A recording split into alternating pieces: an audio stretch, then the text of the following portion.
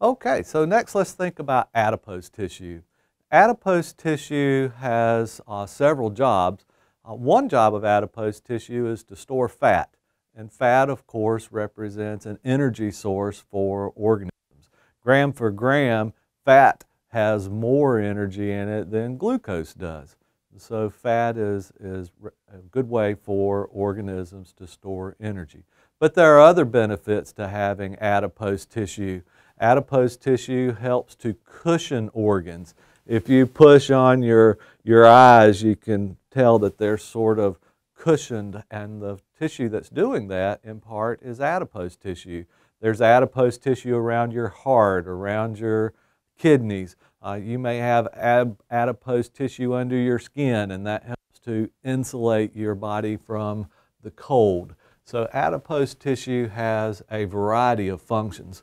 The tissue itself isn't incredibly complicated. Adipose cells are, are very large cells depending upon how much fat they have stored in them.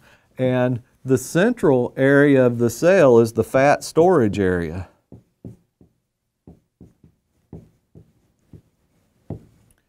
And so as the cells accumulate fat, the nucleus of the cell actually gets pushed over to the side. And so that's pretty much what an adipose cell looks like. Um, and adipose tissue is a little different from a lot of connective tissues in that the cells are closer together.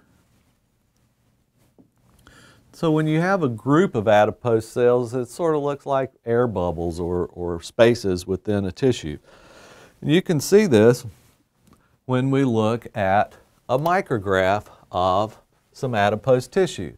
Now this is actually uh, a microscope slide of the trachea and uh, surrounding the trachea we have some adipose tissue and that just helps to cushion that particular organ. So if we try and trace that, you can see here is, is an adipose cell. Here's an adipose cell.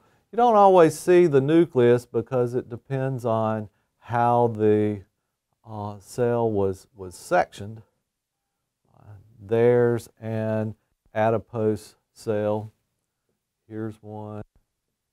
Here's one. So adipose tissue has a large centralized fat storage area with the nucleus pushed to the side. Functions of adipose tissue include storing fat, which is an energy source, protecting, insulating, cushioning, etc.